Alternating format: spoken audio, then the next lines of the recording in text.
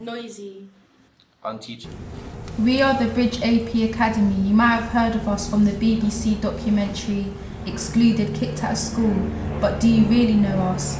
Now let me introduce you to some of our learners and teachers. Um, if you had a message for those people who misconceived the bridge, what would you say to them? I would say have a look at my Twitter for music. Students are really great, very talented, and misunderstood. It's I think. different. Here we have smaller classes, more support, the teachers care about you more.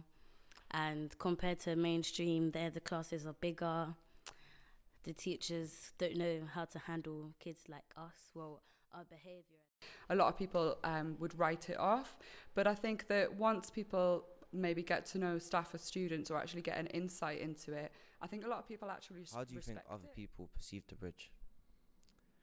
I think that most people, and I would hope most people, believe it's a good place, but the public, the general public, would only see bad points about the bridge. They only really want to hear bad points about the bridge. They're never inside the bridge to see all the beautiful things that actually do happen.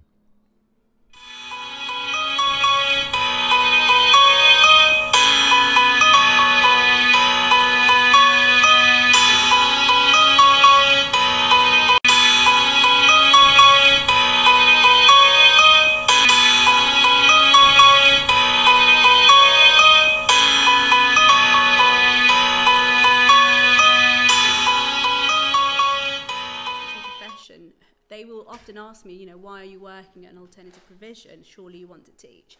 And my answer to that is, I do teach. Um, I probably teach more to the kind of learners we have than I would in the mainstream with a similar group of students. helpful, nurturing, misunderstood. Supportive. Proud. Come here for a day visit.